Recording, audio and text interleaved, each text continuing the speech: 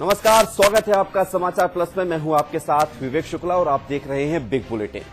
लोकसभा चुनाव की रणभेरी बच चुकी है, तारीखों का ऐलान हो चुका है और चुनाव प्रचार शुरू हो गया है।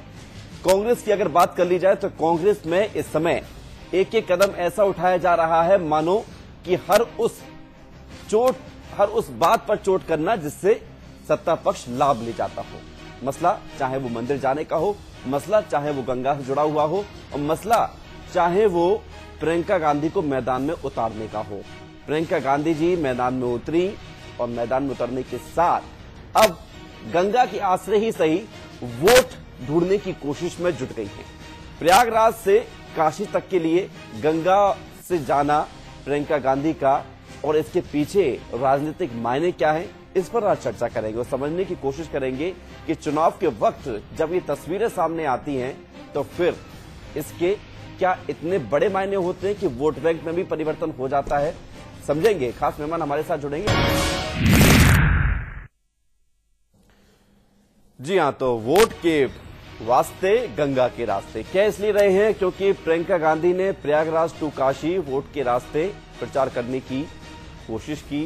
प्रचार अभियान शुरू किया, प्रयागराज में पहुँची, हनुमान मंदिर से शुरुआत की, पूजा अर्चना की, और फिर अपना आगे का कार्यक्रम तय किया।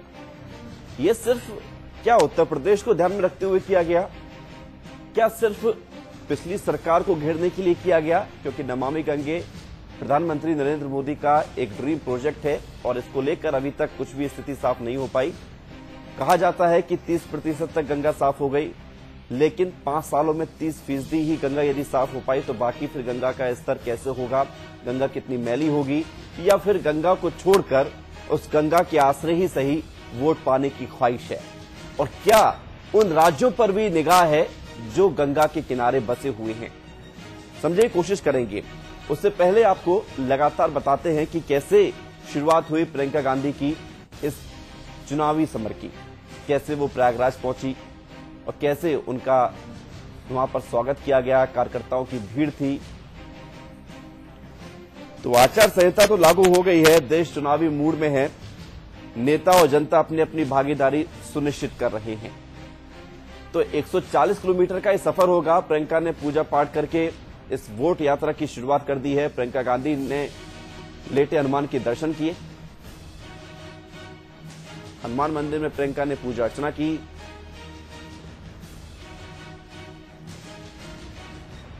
संगम तट पर पूजा अर्चना की। ये चार तस्वीरें आपको दिखा रहे हैं। प्रियंका के इंतज़ार लेटे हनुमान जी की पूजा अर्चना, संगम तट पर पूजा भी की और बोट पर नज़र आई प्रियंका गांधी।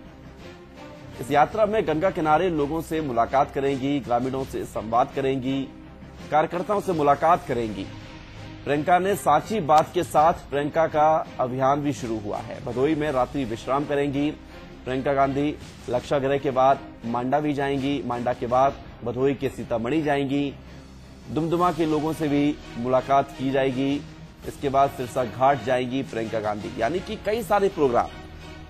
और बताया जा रहा है कि तकरीबन दो दर्जन जगहों पर प्रियंका गांधी अपने इस यात्रा के दौरान रुक रही हैं। तो प्रयागराज से यही गंगा यात्रा शुरू हुई। और ये सिर्फ़ उत्तर प्रदेश के लिहाज से नहीं है। मध्य प्रदेश के पदाधिकारियों के साथ भी प्रियंका गांधी बातचीत करने जा रही हैं। तो सुन लेते हैं प्रियंका गांधी को कि इस यात्रा के दौरान वो क्या कुछ कहती हुई नज़र आ रही हैं। कांग्रेस का काम है करना। बीजेपी कहती रहेगी नकारात्मक राजनीति करती रहेगी और हम काम करते रहेंगे। अच्छा एक ये चुनाव लड़ रहे हैं। अकेले लड़ रहे हैं। हमें किसी से कोई परहेज नहीं है। किसी को डिस्टर्ब नहीं करना चाहते। हमारा लक्ष्य है कि हम बीजेपी को हराएँ। और उनका भी वही लक्ष्य है। तो हम साथ साथ इकट्ठे लड़ रहे और इस दौरान समाचार प्लस के संवाददाता ने जगदम्बिका पाल से भी बातचीत की। महासचिव प्रियंका गांधी बोट यात्रा पे निकली है। मेरे साथ जगदम्बिका पाल जी जो बीजेपी के सांसद हैं। सर, प्रियंका गांधी बोट यात्रा पे निकली अब वो कह रही है कि साची बात करेंगे, मन की बात नहीं करेंगे। अब देखिए, साची बात करेंगे या मन की बात करेंगे, लेकिन इससे साफ़ हो गया कि कांग्रेस का उत्तर प्रदेश में कोई ज़मीन पे जनाधार नहीं है। अगर ज़मीन पे जनाधार होता तो वो ज़मीन पे चलती। अब वो अगर जल यात्रा कर रही हैं तो इससे लगता है कि प्रियंका गांधी अब कांग्रेस की भविष्य उस जल में अपनी संभावनाओं को तलाश रही। जिस तरीके से उस गाँव की चीज़ें प्रदूषित कर रही थी, वो सारी चीज़ें बदल चुकी हैं। और हर गाँव जो गंगा के किनारे हैं, उन गाँवों में लोगों को आवास, लोगों को शौचालय, लोगों को सौभाग्य योजना के अंतर्गत कनेक्शन, लोगों को उज्ज्वला में गैस का चूल्हा तो वो जाएँगी। तो जैसे ये परिवर्तन दिख रहा है कि अगर भारतीय जनता पार्टी की सरकार आज नहीं होती तो शायद प्रयागराज से काशी की वो स्टीमर यात्रा नहीं कर सकती थी। सपा बसपा द्वारा बार बार नकार जाने के बावजूद कांग्रेस की ओर से लिटमस दे दिया रहा है। कहा कि सात सीटों पर कैंडिडेट खड़ा नहीं करेंगे। आज बसपा प्रमुख से साफ़ किया गया कि भ्रम बना फैले। मेरा कोई अलायंस नहीं है तो इससे लगता है जो कांग्रेस पार्टी एक पूरे देश में स्थिति दे रही थी कि हम महागठबंधन करेंगे भाजपा का विकल्प बनेंगे। तो आज यूपी जो उनका अपना होम स्टेट था उसी में सपा बसपा उसको नकार रही है। और इन्होंने कुछ कोशिश भी की उस पर मायावती का साफ़ बार बार बयान आ रहा है कि न उत्तर प्रदेश में न देश में। इसे क्या मतलब कि महागठबंधन का कोई भविष्य नहीं? सेकंड त्रिकोणीय मुकाबले में क्या आपको फ़ायदा होगा बीजेपी? देखिए त्रिकोणीय हो सीधा हो बड़ी गठबंधन की बात कही जाती थी कि सपा बसपा का गठबंधन हो जाए चुनौती होगा। और आप आप देखेंगे चाहे उत्तर प्रदेश हो देश हो पिछली बार से ज़्यादा बहुमत आएगी। कैमरा सोनू खान के साथ कमलेश सिंह समाचार प्लस दिल्ली। तो छह संसदीय क्षेत्रों के लोगों से कार्यकर्ताओं से मुलाकात प्रियंका गांधी इस यात्रा के दौरान करने जा रही हैं। मकसद है इस मुलाकात के बहाने वोट को और ज़्यादा मज़बूत करना। मायने भी निकालने की कोशिश करेंगे खास मेहमान हमारे साथ जुड़ रहे हैं। अमित तिवारी हैं, प्रवक्ता हैं, बीजेपी से, विभाष शुक्ला नेता हैं, समाजवादी पार्टी से, प्रदीप सिंह, प्रवक्ता कांग्रेस के और राजेश महेश्वरी, वरिष्ठ पत्रकार। स्वागत आप सही मेहमानों का समाचार प्लस में। सबसे पहले प्रदीप सिंह जी, आपसे शुरुआत करते हैं। गंगा के आश्रय गंगा के सहारे और वोट को तलाशे जा रहे हैं। क्या इसको इस संदर्भ में लें, प्रियंका की यात्रा को? या फिर इसको इस संदर्भ में लें कि इस बार छह संसदीय सीटों पर कांग्रेस को ज़्यादा बड़ा करना चाहती है और इसलिए गंगा के सहारे, गंगा के पास जाकर, गंगा की पूजा अर्चना कर कर मंदिर मंदिर जाकर, इसका भी कुछ अलग मायने निकाले जाए ये देखिए लगभग अधिकतर राजनीतिक दलों के बड़े नेता बड़ी बड़ी जनसभाओं बड़ी बड़ी रैलियों के माध्यम से और भारतीय जनता पार्टी का अधिकतर नेता। बड़ी बड़ी जनसभाओं के माध्यम से अ, अ, मेरा मेरा झूठ सबसे मज़बूत किनारे लगा रहे थे और तमाम वादे कर रहे थे और लगातार इन चार इन पाँच सालों में अपने संकल्प पत्र में किए गए सारे वादों को सारे वादे इनके जुमले साबित हुए। आज अगर हमारी नेता, कांग्रेस पार्टी की नेता प्रियंका गांधी जलमार्ग से उन मल्ला, केवट, बिंद, इन जातियों के बीच में जा रही हैं और उनकी समस्याओं को सुन रही हैं और आज परिस्थिति क्या है?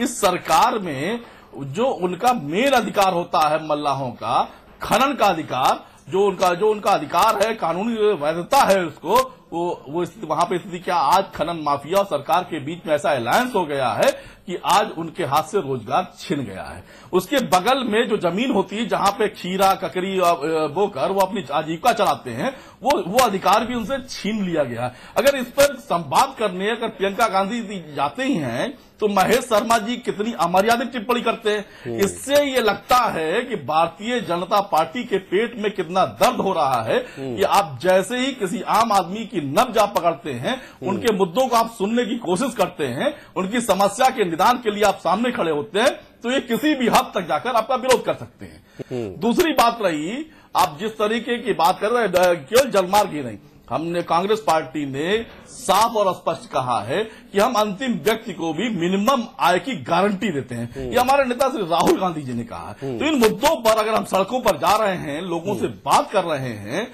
और जो- तो भारतीय जनता पार्टी के तो पेट में प्रदीप दर्द जी- हो रहा है? लगातार। प्रदीप जी ठीक है आप मुद्दों पर बात करना चाह रहे हैं लोगों से मिलना चाह रहे हैं अच्छी बात है। तो मंदिर में पूजा अर्चना करके क्यों शुरुआत? मंदिर में वहाँ आप मस्जिद में जाते गुरुद्वारे जाते गिरजाघर जाते ऐसा भी संदेश दिया जा सकता था या इस बार मंदिर मज़बूत है? निश्चित तौर पर विवेक जी हम जो है कुंभ में जब जाते हैं हमारे नेता स्वर्गीय जवाहरलाल नेहरू जी जब कुंभ में जाते हैं तो हिंदू मैथोलॉजी के हिसाब से अर्धनग्न की जो वेशभूषा होती जो वस्त्र होते उसको पहन के जाते हैं। और प्रधानमंत्री श्री मोदी जी ने किस तरह के वस्त्र पहनकर गंगा का आचमन किया था ये आप सभी ने देखा और आपने दिखाया भी है। तो गंगा का आचमन कांग्रेस पार्टी या देश को में हिंदू मैथोलॉजी को मानने वाले लोग आदिकाल से कर चलते करते चले आ रहे हैं। इसमें भारतीय जनता पार्टी की अनुमति की ज़रूरत नहीं है।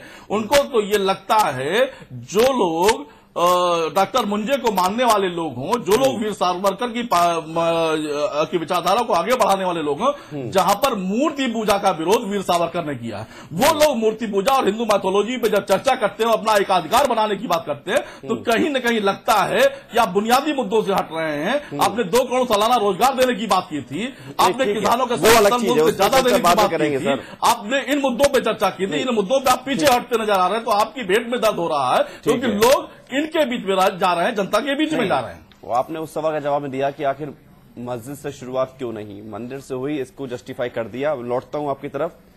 अमित तिवारी जी आप कुछ कहना चाहेंगे? देखिए अभी कांग्रेस के मित्र हमारे कह रहे थे मैं सुन रहा था बड़े ध्यान से आपने भी एक सवाल किया कि आखिर आखिर मंदिर की ओर क्यों रुख? मोदी है तब ये सब मुमकिन हो रहा है। मोदी जी हैं तभी ये मुमकिन हो रहा मंदिर है। जाना सिखा दिया। एक सौ चालीस किलोमीटर की जो ये यात्रा हो रही है प्रयागराज से काशी तक की ये मोदी जी की देन है। मोदी जी ना होते तो ये यात्रा नहीं हो पाती। तो वो सड़क से चली माँ- जाती। माँ- माँ- माँ गंगा को अविरल निर्मल और स्वच्छ बनाने का काम भारतीय जनता पार्टी की सरकार ने किया है। इन लोगों ने गंगा साफ़ हो गई? माँ गंगा अब इसका उदाहरण आप इसी से जान सकते हैं एनजीटी की रिपोर्ट दीजिए इनको हूँ, हूँ। हाँ बताइए अमित जी। विवेक जी साफ़ होने का यही उदाहरण है कि जब समाजवादी पार्टी की सरकार थी कुंभ लगा था माननीय अखिलेश यादव जी कुंभ में गए थे मॉरिशस के राष्ट्रपति आए थे उनके साथ स्नान नहीं किए थे। इस बार अर्ध कुंभ में भारतीय जनता पार्टी की सरकार ने सरकार ने गंगा को स्वच्छ किया इस बार नहाए हैं जाके। नहीं भारतीय जनता पार्टी के लोगों ने स्नान किया इसमें बड़ी बात नहीं है। क्या मॉरिशस के राष्ट्रपति को बुलाया अखिलेश जी ने भी किया। अब अखिलेश जी ने अमित जी क्या। आपने मॉरिशस के राष्ट्रपति को बुलाया। स्नान करने के लिए। अभी इनके ज्ञान का परिचय इसी से लगाया जा सकता जितने है। विदेशी जितने विदेशी कि पर्यटक अगर गंगा जी नहीं में कोई स्नान नहीं करेगा तो वो गलती है और अगर स्नान कर लेगा तो साफ़ हो। अरे जान गए आपके ज्ञान विवाजी, एक मिनट, मिनट। भंडार है आपके पास किस तरीके की बातें करते हैं आप। विभाग जी पढ़िए उस समय की रिपोर्ट। क्या रिपोर्ट पड़े भाई? अमित जी ये बताइए क्या बीजेपी सरकार ने किसी दूसरे देश के राष्ट्रपति को बुलाया कि आइए गंगा में स्नान करिए कुंभ के दौरान? जितने विदेशी पर्यटक विवेक जी जितने विदेशी पर्यटक तो उस बार समय भी आए थे। हैं। इस बार थोड़ी ना अनोखे पर्यटक आए नहीं हैं। नहीं जि, जितने आए अमित विवेक जी जी अमित जी वो, इस बार हकीकत ये है। कि गंगा की सफ़ाई का जिस मकसद को लेकर आप चले थे वो मकसद पूरा नहीं हो पाया। मंत्री आपके बदल गए अब जो वर्तमान में मंत्री हैं, लीजिए। अब जो गडकरी साहब है वो दावा करते हैं कि अगले एक साल के अंदर गंगा साफ़ हो जाएगी। अब ये देखना होगा कि एक साल में गंगा कितनी साफ़ हो रही है। पिछले चार साल में तो हुई नहीं। लौटता हूँ आपकी तरफ़। विवेक जी महेश शर्मा जी के बयान पर भी इनसे जवाब हूँ। आ रहा हूँ सर डिबेट बहुत लंबी एक घंटे में सब पे चर्चा कर लेंगे। शुरुआत में इकट्ठे सारे क्वेश्चन हो जाएँगे तो फिर कैसे एक घंटा जो है हम और मुद्दों को ले पाएँगे। विवाह शुक्ला जी कांग्रेस अपनी ज़मीन तैयार कर रही है उत्तर प्रदेश में। बीजेपी अपनी ज़मीन तैयार कर रही है उत्तर प्रदेश में। अखिलेश यादव मंदिर अंदर नज़र नहीं आ रहे हैं। क्यों? आ, फिर से क्वेश्चन दोहराइए थोड़ा सा विवाह जी ये पूछ रहा हूँ मैं अखिलेश यादव जी मंदिर नहीं जा रहे हैं। चुनाव को देखते हुए नज़र नहीं आ रहे मंदिरों में? देखिए सबसे पहली बात मैं बता दूँ कि लोग मंदिर जा रहे हैं या कहाँ जा रहे हैं समाजवादी पार्टी को जनता के बीच में जाना है और जनता के बीच में लोकप्रिय नेता हैं। और जिस इस समय जो गठबंधन की स्थिति है मैं आप, आपको बता दूँ कि जो बहुजन समाज पार्टी और समाज पार्टी जो पार्टी का जो गठबंधन है वो इतना प्रगण है जनता के बीच में एकदम मंदिर के समान इस गठबंधन को माना जा रहा है। और अब मैं आपको बता दूँ इसका एक उदाहरण दे दू लोकसभा के उपचुनाव गठबंधन और मंदिर का क्या कनेक्शन है? अब पवित्रता मंदिर देखिए से कैसे लोकसभा का चुनाव हो रहा है हाँ। ये हमारे लिए प्रजातंत्र में पूजा के समान है हाँ। हर हर व्यक्ति इस प्रजा प्रजातंत्र में पूजने के लिए अपने वोट का अधिकार के रूप में जो है जल चढ़ाएगा हम्म। तो जनता इस समय जनता जनार्दन भगवान तो जनता है ना हम्म। हम जनता के सामने जा रहे हैं अखिलेश जी जनता के सामने जाएँगे मायावती जी जनता के भगवान को मानते हुए देखा है। मंदिरों के भी दर्शन अगर जनता भगवान है विभा शुक्ला जी तो क्या कभी भगवान को मांगते हुए देखा हम लोगों ने कि भगवान मांग रहा हो कि हमारे लिए रोज़गार दो हमारे लिए सड़क दो हमारे लिए पानी दो ये व्यवस्थाएँ करो कुछ सुविधा दो। जनता को भगवान माना किसने? किसी ने नहीं माना। किसने नहीं माना सिर्फ़ वोट बैंक की अपनी राजनीति समझी है। आप बताइए समाजवादी पार्टी ने मेट्रो दी समाजवादी पार्टी ने आपको आगरा दिया आम आदमी जो- पार्टी ने जो सुबह शाम रोटी नहीं खा पा रहा, वो मेट्रो में सफ़र करेगा। तो कई ऐसी योजनाएँ दी भाई। हम्म। कई ऐसी योजनाएँ दी। और जहाँ तक गाँव को देने के बाद लोहिया आवाज़ दिया हम्म। तो ये सारी चीज़ें ग्रामीण लोगों के लिए ही थी ना कि जो है जनता के लिए थी ना कि जो है विदेश यात्रा कर रहे थे अखिलेश यादव जी हम्म। तो मेरे बीजेपी के प्रवक्ता जो कह रहे थे कि अखिलेश यादव जी ने स्नान नहीं किया तो अखिलेश यादव जी स्नान भी करते हैं और नहीं, उन्होंने कहा मॉरिशस के राष्ट्रपति ने नहीं किया मोदी की तरह ढोंग नहीं करते हैं अखिलेश यादव जी तो अभी भी स्नान करते हुए नज़र आए थे। हम इसको करते हैं लेकिन इनकी तरह दिखावा नहीं करते चुनाव प्रचार में उसका यूज़ नहीं करते हनुमान जी की जात नहीं बताते अपने चुनाव प्रचार में। ठीक है। राजेश महेश्वरी जी आप सुन रहे होंगे इस डिबेट को और अमूमन आज चर्चाओं में है कि प्रियंका गांधी ने जब से शुरुआत की प्रयागराज से इस गंगा यात्रा की और इस यात्रा के दौरान कई लोगों से मुलाकात करेंगी आप क्या समझते हैं? आखिर ये ज़रूरत क्यों महसूस हुई प्रियंका गांधी को या फिर कांग्रेस को कि शुरुआत ऐसे होनी चाहिए? ये बीजेपी को जवाब देने की कोशिश है ये अपने पक्ष में माहौल बनाने की कोशिश है कि प्रयागराज से अच्छी कोई जगह हो नहीं सकती। विवेक जी चुनाव आ गया है। आम चुनाव है लोकसभा का चुनाव है और बहुत महत्वपूर्ण चुनाव है। इस समय हर राजनीतिक दल किसी न किसी रूप में जनता को आकर्षित करने का प्रयास कर रहे हैं। उसी प्रकार कांग्रेस जो है उनका भी प्रयास है कांग्रेस की पार्टी है उसने नए नया ढंग से शुरुआत की है कि वो मंदिर मंदिर जा रहे हैं। शायद प्रियंका जी ने उसी के तहत ये हनुमान मंदिर जाके गंगा जी की यात्रा करके एक संदेश देने की कोशिश की है कि हम हिंदू धर्म के खिलाफ नहीं हैं। हम्म। हम हिंदू धर्म के साथ हैं क्योंकि अभी तक एक मैसेज जो कांग्रेस पार्टी के प्रति जा रहा था आम जनता के बीच कि वो केवल अल्पसंख्यक जो उनके समुदाय के जो प्रेरणा स्थल हैं जो उनके धर्म के स्मारक हैं केवल ये मजार हैं वहाँ जा रहे हैं। इसको शायद बराबर करने के लिए इसको समानांतर करने के लिए इसको उन्होंने हिंदू धर्म के मंदिरों की ओर भी मत्था टेकना शुरू किया है। जिससे कि कांग्रेस पार्टी पर जो ये एक आक्षेप भारतीय जनता पार्टी या अन्य दल के लोग लगा रहे हैं वो आक्षेप निर्मूल हो सके। और वो ये साबित करें कि हम हर धर्म सब धर्म संभाव में तो क्या राजेश जी इस मजबूरी को ये कह लिया जाए कि मोदी जी ने जो है मजबूर कर दिया विपक्ष को कि आप भी मंदिर जाइए? कुछ कुछ ऐसा ही लगता है।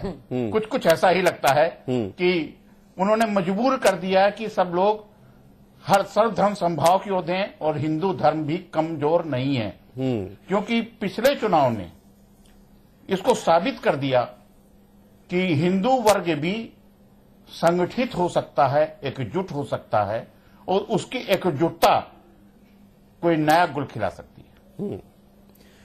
अमित तिवारी जी आपने महेश शर्मा जी का बयान सुना होगा। अभी कहा गया मुझसे कि इस पर भी सवाल कर लीजिए। मैं बाद में चर्चा करना चाहता था, लेकिन जब बात उठ गई है तो कर ही लेता हूँ। संस्कृति मंत्री हैं, लेकिन क्यों अपने संस्कार ही भूलते जा रहे हैं महेश शर्मा जी? क्या इतना राजनीति का स्तर गिर गया है कि किसी महिला को कुछ भी कहने से पहले दिमाग में जरा सा भी ख्याल नहीं आएगा कि हम क्या कहने जा रहे हैं? और आप समर्थन करते हैं महेश शर्मा जी का? विवेक जी, जो बयान आया है उस बयान में ऐसा कुछ गलत नहीं है उनकी कहीं से सोच गलत नहीं रही है। सोच को कैसे सोच दिखती है क्या सर? शब्द सुनाई देते हैं। नहीं जो उन्होंने कहा जो कांग्रेस पार्टी के राष्ट्रीय अध्यक्ष का नाम लिया जाता है उस नाम के साथ एक नाम दिया ऐसा गाँव में होता है कि भाई बहन का नाम एक जैसा होता है। तो ऐसा ऐसा ऐसी सोच नहीं रही है अमित तिवारी जी ये बेहद दुर्भाग्य की बात है कि जिस शब्द को लेकर आपको निंदा करनी चाहिए थी आप उसका समर्थन कर रहे हैं और उस बयान पर क्या कहेंगे कि भगवान भी किसी की आ, कि, आ, हर किसी की डिमांड पूरी नहीं कर सकता मांग पूरी नहीं कर सकता तो सांसद कैसे कर सकते हैं? ये जवाब है। इस पर क्या कहेंगे आप? ये भी महेश शर्मा जी का जवाब सामने आया था। उन्होंने बात में एक ज़िक्र किया था इसका।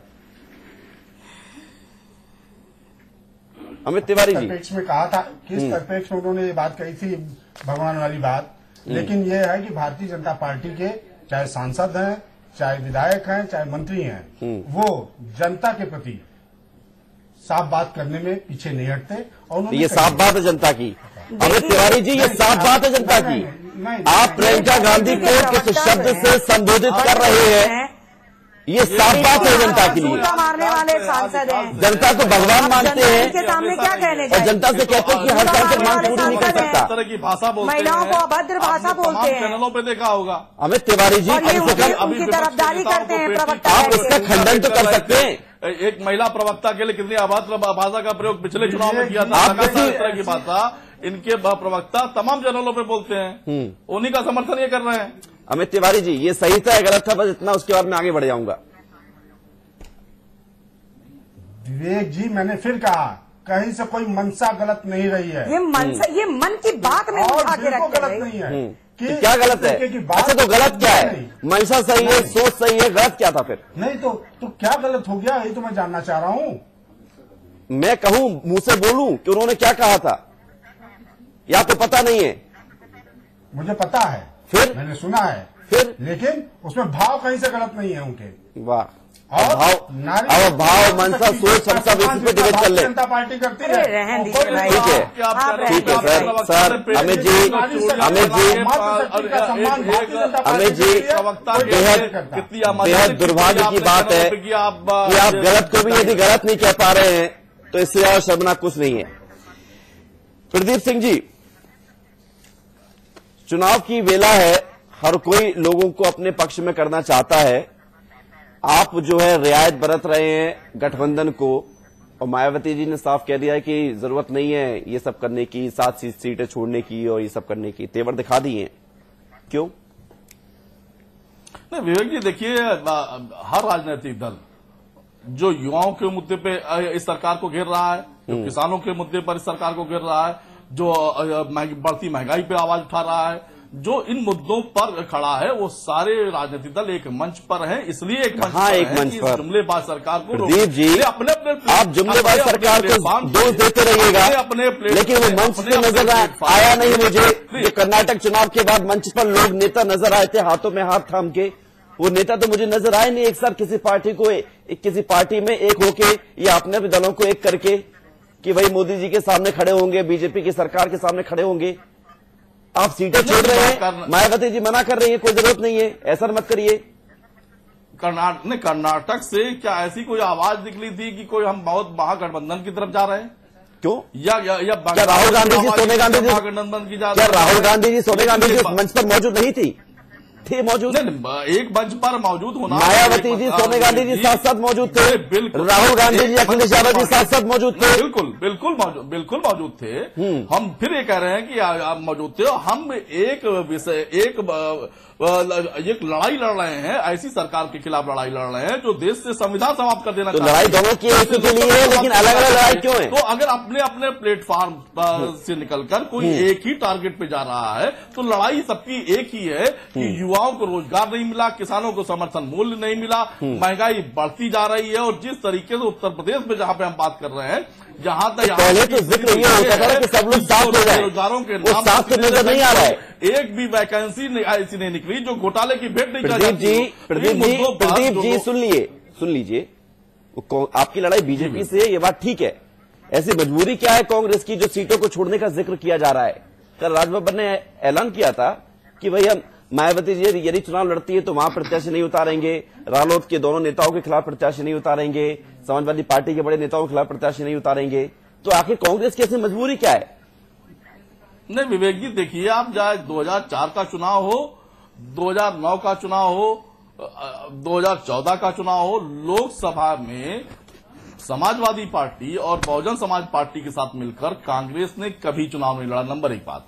नंबर दो बात हमारे नेता हमारे राष्ट्रीय नेता राहुल गांधी जी ने साफ़ और स्पष्ट कहा इस राजनीतिक दल के नेताओं का हम हृदय से सम्मान करते हैं। और जब इस गठबंधन ने हमारे शीर्ष नेतृत्व के लिए दो सीटें छोड़ी तो हम उनके हम उनका सामने उनका सम्मान करते हुए गठबंधन के लिए साफ़ वही गठबंधन बोल रहा है कि ज़रूरत नहीं है। नहीं नहीं बोल रहे हैं लेकिन चूँकि उन्होंने हमारे शीर्ष नेतृत्व के लिए छोड़ी है तो हमने भी छोड़ी है हम अपने अपने प्लेटफॉर्म पर लड़ाई लड़ रहे हैं निश्चित तौर पर आज प्रियंका गांधी का जाना वहाँ पर भारतीय जनता पार्टी के पेट में दर्द होना स्वाभाविक था क्योंकि वो पोल खुल गई कि मल्लाहों लौट के रहा। अधिकारों का जो। भारतीय जनता पार्टी लौट रहा प्रदीप जी। है, और अमर जी आपसे पूछूँगा, माफिया के साथ मिलकर आखिर बीजेपी के पेट में ये दर्द क्यों होने लगा? हो रहे हैं इसमें बीजेपी के अमित जी। पूछूँगा, बीजेपी के पेट में ये दर्द क्यों होने लगा कि अपशब्द पर उतर आए, मर्यादा पूरी भूल गए एक महिला के लिए और विपक्ष की उस महिला के लिए जो लोकप्रिय है, जिनके लिए भीड़ जुटती है। यदि उनके लिए भी शब्दों का इस्तेमाल होगा तो फिर कैसे आप महिलाओं को सम्मान देते हैं? इसका भी तो खुलासा करना पड़ेगा। लौट रहा हूँ, ब्रेक के बाद, चल। ब्रेक के बाद स्वागत है आपका। लगातार हम चर्चा कर रहे हैं प्रियंका गांधी की राजनीतिक गंगा यात्रा की राजनीतिक इसलिए क्योंकि शुरुआत हुई है राजनीति होने वाले समय पर यानी कि लोकसभा चुनाव से ठीक पहले। खास मेहमान हमारे साथ लगातार बने हुए अमित तिवारी जी, कांग्रेस को पेट दर्द हो रहा है, ऐसा कहना है प्रदीप सिंह का। और पेट दर्द क्यों हो रहा है, इसके सबूत मिले हैं महेश शर्मा जी के उस बयान से, जिसमें उन्होंने विवादास्पद टिप्पणी की प्रियंका गांधी के लिए। क्या कहना चाहेंगे? विवेक जी, प्रियंका वाड्रा जी को हम कहीं से भी गंभीरता से नहीं ले रहे हैं पेट में दर्द होने की बात ही नहीं है। नहीं, गंभीरता से अगर आप नहीं ले रहे हैं तो फिर क्यों ऐसे मेरी इस्तेमाल किए जा रहे हैं? विवेक जी विवेक जी पहले मेरी बात सुने। हम्म। उनके उनके राष्ट्रीय अध्यक्ष उनके भाई राहुल जी ने ही कह दिया जब प्रियंका जी आई कि 2019 में हम इनको ला रहे हैं तैयारी 22 की हो रही है। राहुल जी ने प्रियंका जी को इसलिए उतारा है हम्म। कि रायबरेली और अमेठी बचा लिया जाए। हम्म। पिछली बार भी आपने देखा था अमेठी में राहुल जी की क्या स्थिति हुई थी? हार गए थे क्या? इस बार अरे तो गालियाँ देने लगेंगे। बड़ी, बड़ी मुश्किल से चुनाव जीते थे। तो और इस बार रायबरेली और अमेठी नहीं बचेगा। आप बताइए। आज उसी के लिए आज उसी के लिए परेशान होकर असहमति है, बैसाखी पे तो आप बैसाखी इस पे तरह की अमर्यादित टिप्पणी। करेंगे। अमित जी अमित जी नहीं सीटें आप भी छोड़ रहे हो सर। अमित जी सीटें आप भी छोड़ रहे हो। बिहार में तो देखा हमने कैसे तो- गठबंधन किया आपने? तो तो वो स्वीकार कर रहे हैं ये तो छोड़ रहे हैं तो लोग स्वीकार नहीं, वो भी स्वीकार कर रहे हैं और उसके पीछे तर्क दे रहे हैं। अमित जी आप महेश शर्मा जी के शब्द को लेकर कुछ कहना चाहेंगे जो उन्होंने किया मंशा सोच इच्छा ये सब एक तरफ़। विवेक जी विवेक जी जो सवाल है जो आपने कहा भारतीय तो जनता पार्टी महेश शर्मा जी को पुरस्कृत करेंगे। देखिए शरद त्रिपाठी जी ने जिस तरीके से पिछड़े वर्ग के विधायक द्वारा एक सवाल मारे थे बीस। विवेक जी बीस जूते पूरे मारे थे। सिंह हैं, बर्दाश्त नहीं करते। एक मिनट तो ये महेश शर्मा जी को तो पुरस्कृत करने जा रहे हैं लोग। राजेश महेश्वरी जी छह लोकसभा सीटें आती हैं इस दौरे के दौरान इस गंगा यात्रा के दौरान इलाहाबाद फूलपुर भदोई मिर्जापुर चंदौली और वाराणसी जहाँ पर लोगों से मुलाकात करेंगी। ये छह सीटें इसलिए महत्वपूर्ण हैं। फूलपुर में उपचुनाव में तो हार हुई लेकिन बाकी वाराणसी नरेंद्र मोदी के लिए चंदौली पांडे जी के लिए और प्रयागराज और भदोई ये महत्वपूर्ण पूर्वांचल का वो क्षेत्र जहाँ पर बीजेपी अपने आप को मज़बूत मानती है। तो चुनौती इस बार बीजेपी को उन्हीं के गढ़ में देने की की जा रही है प्रियंका गांधी के द्वारा। इसके मायने आप कैसे महसूस कर रहे हैं? ये हर राजनीतिक दल जो है वो प्रयास कर रहा है कि हम एक दूसरे के जो महत्वपूर्ण सीटें हैं उन पर हम स्टार प्रचारक उतारे। प्रियंका गांधी जी ने जो शुरुआत की है वो मोदी जी के क्षेत्र से की है। और उद्देश्य यह है कि जो उनके स्टार प्रचारक हैं वो अपनी सीटों पर विशेष ध्यान दें टाइम ज़्यादा दें दूसरे स्थानों पर ना जा पाए। ये हर राजनीतिक दल की अपनी रणनीति होती है कि उनके स्टार प्रचारक को उनकी सीटों पर सीमित कर दें। संभवतः मैं समझता हूँ कि प्रियंका गांधी जी ने इसीलिए इन क्षेत्रों पर शुरुआत की है। क्यों? जिस तरह से नरेंद्र मोदी जी ने अमेठी में अभी बहुत बड़ी रैली की।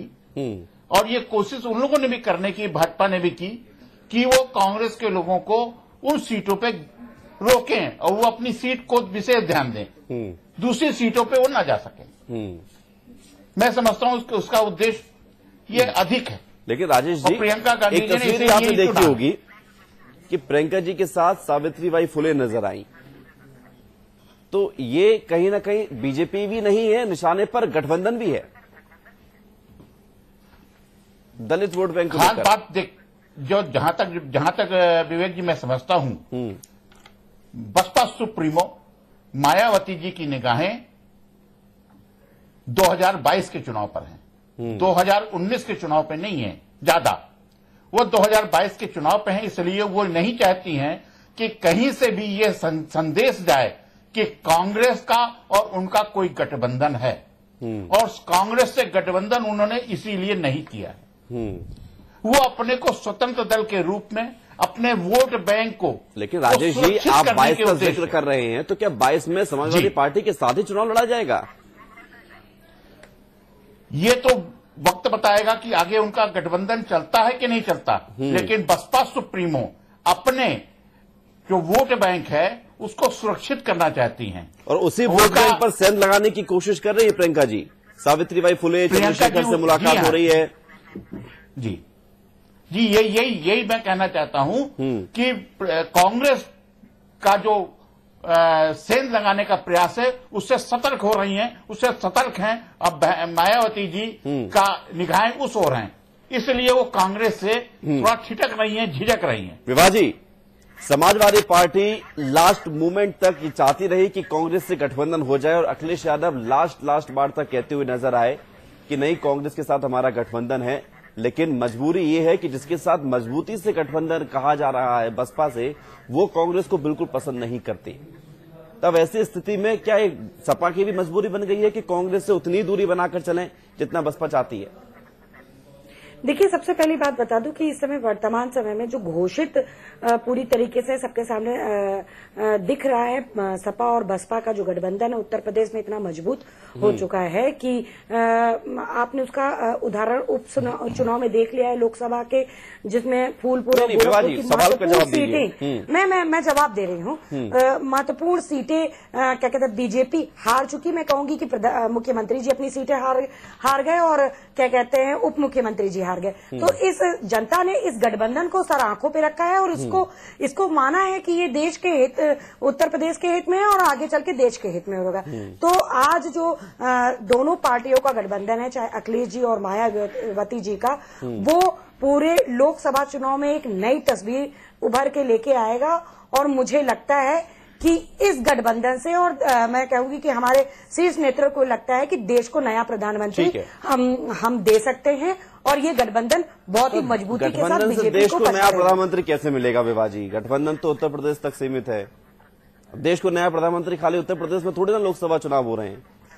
उत्तर प्रदेश से ही प्रधानमंत्री मिलता है। ऐसी कोई ज़रूरी नहीं है संविधान में नहीं लिखा है। आप अस्सी सीटों पर दोनों मिलकर लड़- रहे हैं। आप ये बताइए जिसकी सीटें सीटें ज़्यादा आएँगी आज उत्तर प्रदेश में ये गठबंधन इतना मज़बूत हो चुका है कि मुझे लगता है कि बीजेपी को उल्टे पाव वापस जाना पड़ेगा। विभा जी आपने सवाल का जवाब तो दिया नहीं है। बदलने वाली आप उधर प्रधानमंत्री पद तक पहुँच गई। मेरा सवाल इतना भर था कि बसपा के साथ जो आप मजबूती के गठबंधन का ज़िक्र कर रही हैं बसपा कांग्रेस से छिटक रही है, दूरियों का ज़िक्र कर रही है, और एक तरह से कहा जाए किसी भी तरह की बातचीत तक भी नौबत नहीं चाहती बसपा। और आप उन्हीं बसपा के साथ हो, आपका सॉफ्ट कॉर्नर कांग्रेस के साथ हो सकता है अखिलेश यादव का, राहुल गांधी के साथ, क्योंकि पिछली बार आपका गठबंधन था विधानसभा चुनाव में, सपा और राहुल गांधी कांग्रेस का। तो मेरा सवाल यह है कि जब बसपा की इतनी दूरियाँ हैं तो क्या समाजवादी पार्टी की भी दूरियाँ हैं? देखिए, मैं सबसे पहले बात बता दूँ कि आज जो गठबंधन है हम गठबंधन के साथ चुनाव लड़ रहे हैं और देश को नया प्रधानमंत्री दिया जाएगा और किस रणनीति और किस किस मायने के साथ क्यों पहुँच रही हो विभा शुक्ला जी? आप अब- मुझे अब- सवाल का जवाब नहीं दे रही वो सारी चीज़ें हम नहीं कह सकते वो सारी बातें इस समय नहीं बताई जा सकती कि उस समय क्या रणनीति बनेगी और रणनीति का ज़िक्र नहीं कर रहा हूँ। वो हमारे बसपा की कांग्रेस से दूरी है। बसपा कांग्रेस पसंद नहीं कर रही है कि समाजवादी पार्टी भी कांग्रेस को पसंद नहीं करती। कि सपा और बसपा का जो गठबंधन है वो बहुत ही मज़बूत है और उत्तर प्रदेश में मज़बूत मैं नहीं कह रहा हूँ कि कमज़ोर है बीजेपी का सफाया मैं नहीं कह रहा हूँ कि कमज़ोर है बहुत मज़बूत है।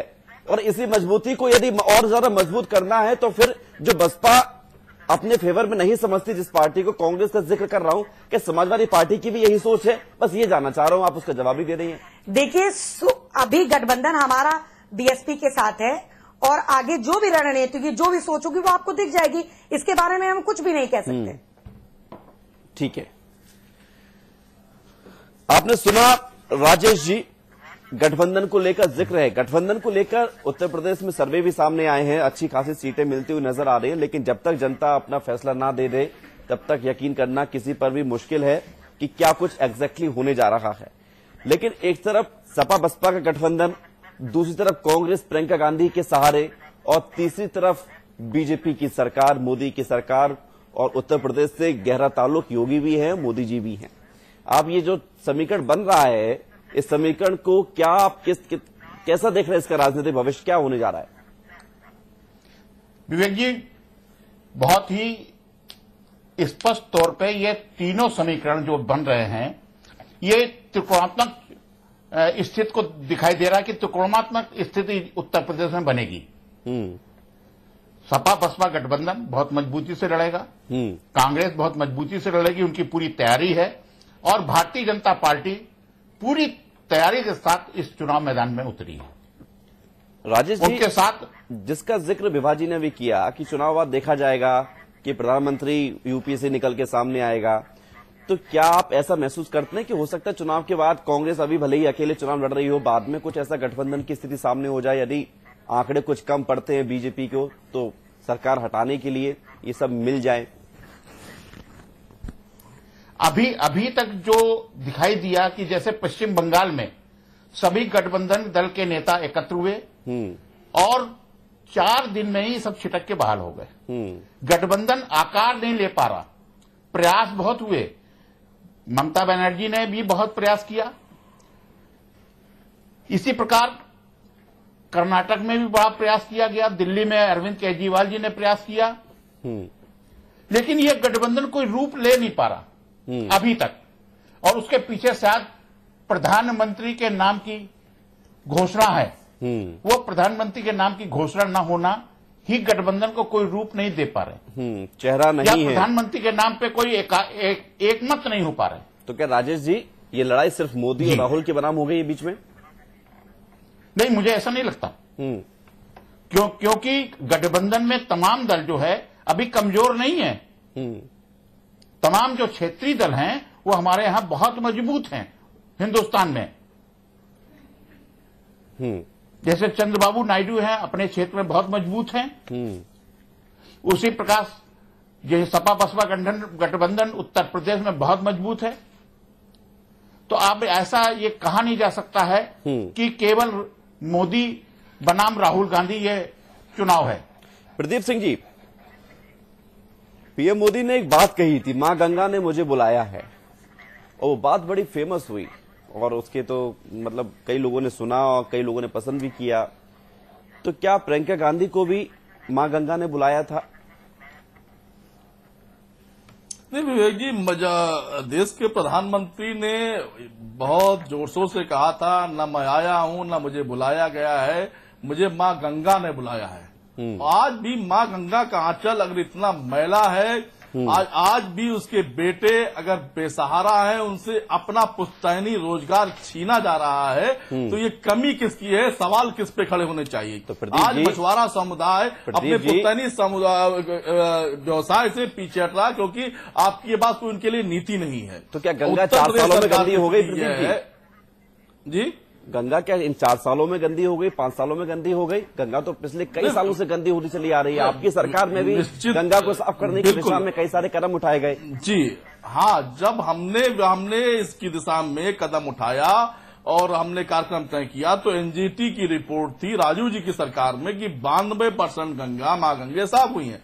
आज एनजीटी न तो भारतीय जनता पार्टी है न समाजवादी पार्टी है न कांग्रेस। एनजीटी एक न्यायालय है जिसने बताया कि एक बूंद भी गंगा साफ़ नहीं हुई। तो सवाल खड़े होंगे या नहीं खड़े होंगे? और जिनके ऊपर ये भार था गंगा बानवे को साफ़ गंगा कब साफ़ थी? उन्होंने उन्होंने मंत्रालय छोड़ दिया। प्रदीप सिंह जी बानवे फ़ीसदी गंगा कब साफ़ थी? राजीव जी के कार्यकाल में एनजीटी की रिपोर्ट क्या उसके बाद फिर यानी कि इसका मतलब ये कि उसके बाद कांग्रेस की सरकारें बनी उन्होंने गंगा को गंदा किया? उसके बाद में और भी सर राजीव जी के सरकारों के बाद भी और सरकारें आई श्री अटल बिहारी वाजपेयी जी की भी सरकारें आई और हाँ, लेकिन तो सरकारें आई तो निश्चित तौर पर ये हम्म। आप मानिए कि आज अगर सवाल उठे ये सवाल उठने चाहिए आज मछुआरा समुदाय हम्म। अगर बेरोजगार हो रहा है उसे उसका पुस्तैनी अधिकार व्यवसाय छीना जा रहा है आज खनन माफिया एक सिंडिकेट बनाकर उन, उनके उन अधिकारों का हनन कर रहे हैं हम्म। तो ये सवाल पूछ इन सवाल में मछुआरों के साथ अब श्रीमती प्रियंका गांधी जी पहुँच रही हैं हम्म। तो भारतीय जनता पार्टी के पेट में इतना दर्द हो रहा है कि आप उनके लिए हमारे टिप्पणी कर रहे हैं और हम्म। न सिर्फ़ हमारे टिप्पणी कर रहे हैं इससे पहले क्योंकि आप इस स्वभाव के हैं आप असहमति को कतई बर्दाश्त नहीं करते। आपने असहमति को न बर्दाश्त करने के आधार पर गांधी को शुक्ला जी। आपने असहमति को बर्दाश्त न करने के आधार पर आप आधार पर शरद शरद त्रिपाठी जी हाँ, ने असहमति के आधार पर बैकवर्ड विधायक को इतने जूते मारे इतने जूते मारे कि हम लोग अभी तक गिन नहीं पाए। पूरे बीस जूते मारे और भारतीय जनता पार्टी शरद त्रिपाठी आप लोग को एक दूसरे की पार्टी के नेताओं अगर ज़िक्र करना शुरू कर दोगे- उसी तरीके से शरद त्रिपाठी जी को भी पुरस्कृत करने वाली है। प्रदीप सिंह जी बीजेपी और कांग्रेस में ऐसे कई बयानवीर और बहादुर नेता हैं जो अक्सर सामने आते रहते हैं। नहीं विवेक जी जूते मारने वाले एक ही हैं। शरद त्रिपाठी जी। चलो जूते वो हाँ, मारते उन्होंने हैं इतने अब जूते असभ्य और मारे, सभ्यता को लेकर कर लिया जाए। बीस बीस जूते बीस।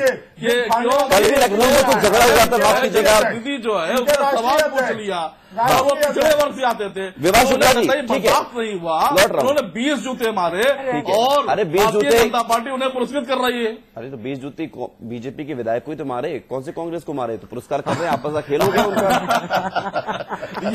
जब दल के अंदर सहमति नहीं बर्दाश्त नहीं कर पा रहे हैं। लेकिन ये तो तो गांधी को भी मारा है। विवाह शुक्ला जी ये तो गांधी को मारने वाले लोग हैं ठीक है अरे चर्चा पे टिके रहिए सर। चर्चा पे टिके रहिए। एक, एक दूसरे के चरित्र का सर्टिफिकेट देने हम नहीं बैठे विवाह शुक्ला जी गंगा मंदिर ये वो दो तीन चार ऐसे मुद्दे हैं जो अब चुनावों पर प्रभाव डालने लगे हैं। गंगा साफ़ क्यों नहीं हुई? इसको लेकर सवाल उठते रहे हैं। सरकारों का जवाब आता रहा है कि कोशिश की जा रही है। गठबंधन की तरफ़ से अभी, जो सवाल मैंने आपसे पहले पूछा था, क्या आगे आने वाले समय में ये तस्वीर देखने को मिलेगी? अखिलेश यादव जी गंगा में डुबकी लगा रहे हैं, मायावती जी मंदिर जा रही हैं, ऐसी कुछ तस्वीरें आप महसूस करती हैं? देखिए सबसे पहली बात बताओ आस्था में राजनीति बिल्कुल नहीं होनी चाहिए। कौन किस तरीके से अपने अपने तो- इष्ट को तो पूजता है इसमें किसी को कर बताने की ज़रूरत नहीं मैं बता नहीं सकती किसी को। मैं अपने भगवान को कैसे पूजती हूँ ये मेरा तरीका है। हम्म। अखिलेश जी कैसे पूजेंगे वो वो बता सकते हैं वो कैसे पूजेंगे। हाँ अब उसके पीछे कैमरा कौन लगाता है? ये चंद रेता और चंद पार्टी के लोग करते हैं कि जब अगरबत्ती जलाने जाएँ तो कैमरा लेके साथ में जाएँगे भैया देखो हम गाय हम्म। तो को रोटी प्रियंका जी जो हैं, कर रही तो कैमरा लेके जाए मैं वो मैं- राजनीति है, बताऊँ प्रियंका जी। कर रही हैं। हम उस पर टिप्पणी नहीं करते। लेकिन दूसरी बात यह है कि मोदी जी कर विषय तो राजनीति से दूर प्रियंका जी करें तो कोई टिप्पणी तो नहीं। सुन लीजिए टिप्पणी क्यों नहीं? मैं मैं कह रही हूँ। मैं मैं सुन लीजिए मेरी बात। हम्म। अयोध्या के नाम पर राम मंदिर के नाम पर रामलला के नाम पर सबसे ज़्यादा वोट बटोर कर सरकार बनाने वाले बीजेपी के नेता हम्म। मैं कहूँगी हमारे माननीय प्रधानमंत्री मोदी जी कभी अयोध्या दर्शन करने नहीं आते इस हम्म। पर टिप्पणी उठनी चाहिए क्योंकि वोट उन्होंने उसी के लिए मांगा गंगा के नाम पर जो है उन्होंने जो है कई गंगा का बेटा कह के अ, वोट मांगा है और बनारस की स्थिति क्या है? जग ज़ाहिर है। मैं कहूँगी मूलभूत आवश्यकताओं को पूरा नहीं कर पाए प्रधानमंत्री। अरे मैं गई हूँ भाई। आप रहने दीजिए मेरी पैदाइश मेरी पैदाइश जो है गाँव वहीं की है। बाद में कूद पड़ते हैं भाई। आप गंगा में डुबकी लगाने नहीं बजाय मेरी भी मेरे बीच में कूद पड़ते हैं। आप जाइए गंगा में कूदिए। एक मिनट दूसरी बात अरे ऐसे मत किसी को आप प्रेम करिए भरी गंगा में कूदने का विवाह शुक्ला जी। तो स्पर्श करेंगे ही। अरे विवाह शुक्ला जी। मैला मन करके की मैला विवाह मन शुक्ला करके जी। आप जैसे लोगों विवाह शुक्ला जी। गंगा नदी आप जैसे लोगों से हुई। विवाह शुक्ला जी। आप एक मिनट। समझिए। एक मिनट, आवाज़ जी। नहीं दबा सकते बीच एक मिनट, प्रदीप जी, अभी जी। कैसे करते हैं। अमित जी, एक मिनट। बताया आप कह रहे हैं कि अमित आप आवाज़ दबा देंगे जी एक मिनट। आप आवाज़ दबा देंगे। विवाह शुक्ला जी आप आवाज़ दबा देंगे। विवाह शुक्ला जी बात सुनिए। विवाह शुक्ला जी एक मिनट अमित जी प्रदीप जी एक मिनट रहने दीजिए कौन सी आस्था है आपके एक मिनट। झूठ बोलते हैं आप लोग। एक मिनट, अमित जी। प्रदीप जी एक मिनट। एक मिनट प्रदीप जी आप गंगा माँ को बेचते हैं आप कैसे बात करते हो आप विवाह शुक्ला जी? के नाम पे अधर्म करते हैं। लोग हैं विवाह शुक्ला जी महिलाओं का सम्मान नहीं करते। एक मिनट प्रदीप जी एक मिनट। विवाह शुक्ला जी सबसे पहली बात तो ये कि आप सार्वजनिक तौर पर ऐसी डिबेट में किसी को गंगा में कूदने का ज़िक्र ना करें। अगर कोई कूद गया मैंने किसी को तो नहीं कहा। इनसे भी कहा अगर वो चले गए कल के दिन कूदने के लिए गैर इरादतन हत्या का केस लग जाएगा मैडम आप पर आप इस चीज़ का ख्याल रखिए। कूदने का ज़िक्र ना करें। आप मैं बताऊँ हाँ। जहाँ तक जो है गंगा में डुबकी लगाने या कूद के डुबकी लगाने की बात है ये कूदना और डुबकी दोनों में अंतर है। हम लोग धार्मिक लोग हैं। हाँ। ये पवित्र हो जाएँगे इतना झूठ बोल रहे हैं भाई।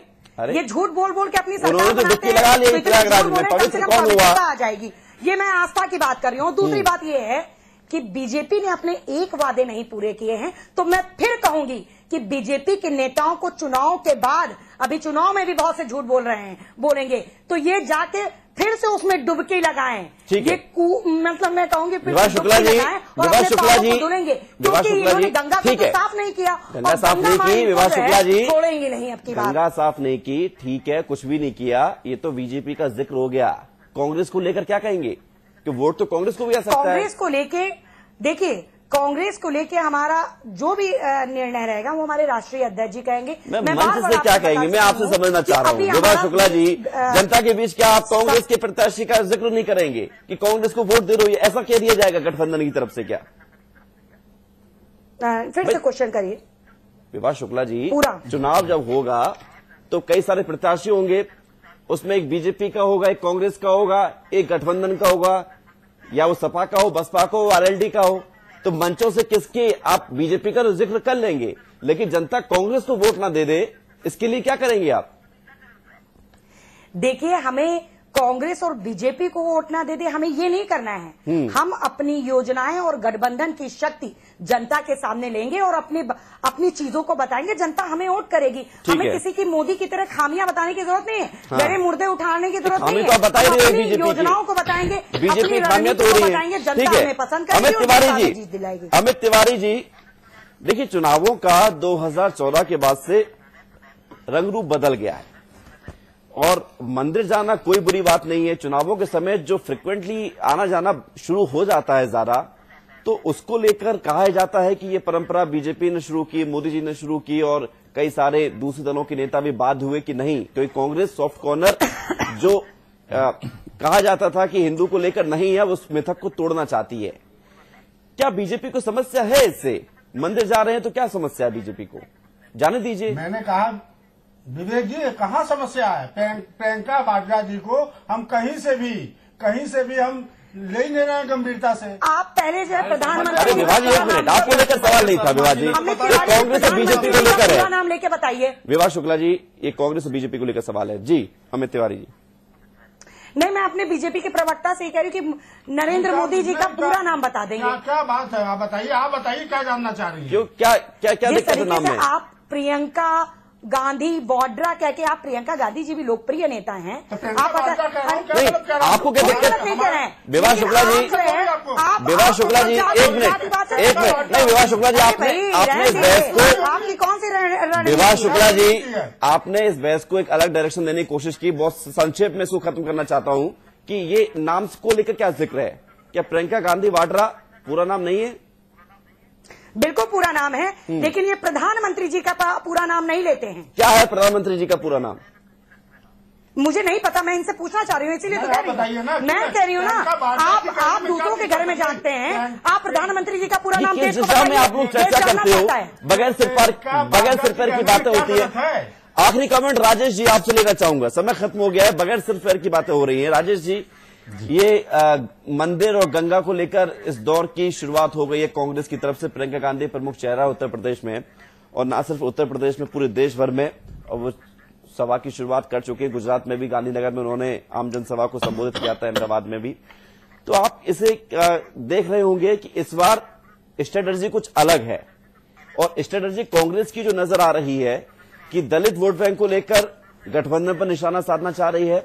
और जो आपने कहा कि जो मुख्य सीटें हैं बीजेपी के बड़े बड़े नेताओं की वहाँ पर स्ट्राइक करना चाह रही हैं। क्या आप देखते आगे आने वाले समय में क्या आप और महसूस करें? क्या क्या और कुछ देखने को मिलेगा इन चुनावों में? विवेक जी मुझे जहाँ तक मेरा समझ है जो मैं देख रहा हूँ कि कांग्रेस भाजपा से मुद्दे छीनना चाह रही है। वो विशेष मुद्दा था उनका हिंदूवाद का। हिंदू धर्म के लोगों का जो जो उनके प्रमुख स्थल हैं वहाँ जाके राहुल जी जो कांग्रेस के अध्यक्ष शुरुआत उन्होंने की। मंदिरों में जाके पिछले चुनाव में भी वो मंदिरों में गए तमाम मंदिरों में गए। पहले इसके पहले कांग्रेस के लोग इन बातों से सतर्क रहते थे नहीं जाते थे। हम्म। अब उन्होंने ये अपनी रणनीति को बदला। हम्म। और उन्होंने ये समझा कांग्रेस के लोगों ने कि हम ये भाजपा से इस, इस रणनीति को हमें अपनाना चाहिए। हम्म। क्योंकि हम एक एक पूरे वर्ग को हम नाराज़ कर रहे हैं। जी। और इसलिए ये जो कांग्रेस के राष्ट्रीय अध्यक्ष राहुल जी हैं उन्होंने हिंदू धर्म के लोगों को हिंदू वर्ग के लोगों को रिझाने के लिए ये उनके धर्म स्थलों पर जाने का उन्होंने शुरुआत की। हम्म। अमित तिवारी जी। दूसरी उनकी जी जी पूरी बात कर लीजिए राजेश जी। दूसरी जी दूसरी उनका वो था कि जो उनका जो बेस वोट बैंक है दलित वर्ग का अल्पसंख्यक वर्ग का उस पर जो सेंध जो लगाने का जो प्रयास कांग्रेस का बहुत है और कुछ प्रयास कुछ किसी नेता से जो अभी प्रियंका जी मिली उससे बसपा सुप्रीमो को थोड़ा खतरा महसूस हो रहा है हम्म। कि वो उनके बेस वोट पे कांग्रेस सेंध लगा रही है। जी। और इसीलिए बसपा प्रमुख ने एक कड़ा स्टेप एक कड़ा संदेश जनता को देने का प्रयास किया। बिल्कुल। अमित तिवारी जी हमारे वोट बैंक हम्म। अमित तिवारी जी आप जरा ऊपर तक बात पहुंचाइए वरिष्ठ आला कमान के नेताओं को कि राजनीतिक तौर पर राजनीति करते समय मंचों से अपने फ़ायदे दूसरों के नुकसान बताते समय सब कुछ करिए लेकिन भाषा की मर्यादा बनाए रखें। संस्कृति मंत्री हैं महेश शर्मा। बेहद विवादास्पद उन्होंने टिप्पणी की। मंशा सोच विचार जो रहे हो वो दिखता नहीं है। मुँह से निकले हुए शब्द सुनाई पड़ते हैं। और, और आपसे भी आपत्ति ये है से बचे। कि अमित तिवारी जी आपने उसका सपोर्ट किया है। उस शब्द का और जिन्होंने इस शब्द को इस्तेमाल किया आपने उनका भी सपोर्ट किया है। ऐसा नहीं विवेक जी मैं- मैंने मैंने ये नहीं किया मैंने बत- मैंने कहा कि कहीं भावनाओं में उनकी कोई गलती नहीं थी मैंने ये कहा अब एक ही बात है। शब्दों की बात एक ही बात है। विवेक जी विवेक जी विवेक जी सुने हमें बहुत संक्षेप में सर समय समाप्त हो गया है बहुत जल्दी और अगर अगर कोई कोई बात कोई बात गलत है तो गलत है आपने कहा तो गलत कही है सर आपको। आप ये नहीं कह सकते कि सोच कुछ और हुई होगी। विवेक जी विवेक जी हाँ। विवेक जी चलिए ठीक है समय समाप्त हो गया। है बहुत बहुत धन्यवाद आप सभी का। बहुत बहुत शुक्रिया अमित तिवारी जी विभा शुक्ला जी प्रदीप सिंह जी और राजेश महेश्वरी जी बहुत बहुत धन्यवाद। तो चुनाव है चुनावों के दौर में बोलना भी पड़ेगा लेकिन कैसे बोलना है इसको भी समझना पड़ेगा। मंदिर भी जाना पड़ेगा दूसरे धर्मों के लोगों को भी लुभाना पड़ेगा। गंगा के सहारे वोट बैंक पाने की जो चाहत शुरू हो गई है इससे ज़्यादा ज़रूरी है कि उस गंगा को साफ़ किया जाए, इस दिशा में मिलजुल कर काम करना होगा। नमस्कार।